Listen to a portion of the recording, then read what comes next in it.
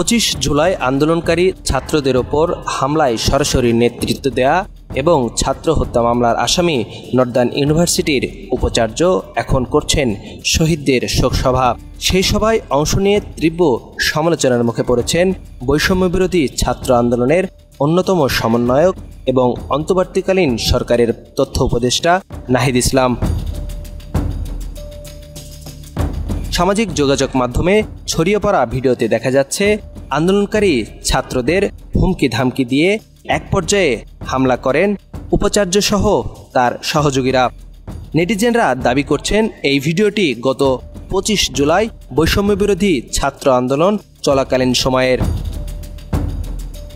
ভিডিওটির সূত্র ধরে তথ্য যাচাই করে দেখা যায়, অভিযুক্ত Northern University of Business and Technology Khulna এর উপাচার্য অধ্যাপক ডক্টর আবু ইউসুফ মোহাম্মদ আবদুল্লাহ সরাসরি আওয়ামী রাজনীতিবিদ ছিলেন।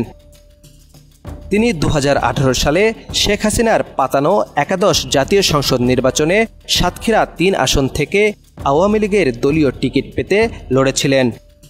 বিভিন্ন সময় আওয়ামী লীগের প্রভাবশালী নেতাদের সঙ্গে ছবি তুলে সেসব ছবি দিয়ে প্রভাব বিস্তারের অভিযোগ রয়েছে তার বিরুদ্ধে। তবে পাঁচ আগস্ট ক্ষমতার পালাবদলের পর বদলে গেছে অধ্যাপক ডক্টর আবু ইউসুফ মোহাম্মদ আবদুল্লার রূপ বিশ্ববিদ্যালয়ে নিজের আধিপত্য ধরে রাখতে এবার আওয়ামী রূপ ছেড়ে চেষ্টা করছেন বৈষম্য বিরোধী ছাত্র আন্দোলনে সমন্বয়কদের কাছে কাছে ঘেঁচতে। তার ওই অংশ হিসেবে খোদ নিজেই ছাত্র হত্যা মামলার আসামি হয়েও আয়োজন করেছে বৈষম্য বিরোধী আন্দোলনে নিহত শহীদদের স্মরণ সভা দাওয়াত দিয়েছেন আন্দোলনের পরিচিত মুখগুলোকে। যদিও তার চালাকি বুঝতে পেরে অন্য সমন্বয়করা অংশ না নিলেও শোকসভায় অংশ নিয়েছেন তথ্য উপদেষ্টা নাহিদ ইসলাম। এ ঘটনায় নাহিদের সমালোচনায় সরব নেটিজেনরা।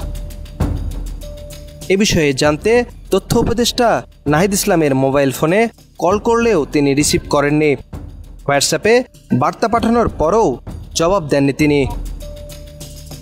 আক্তারুজ্জামান আমাদের সময়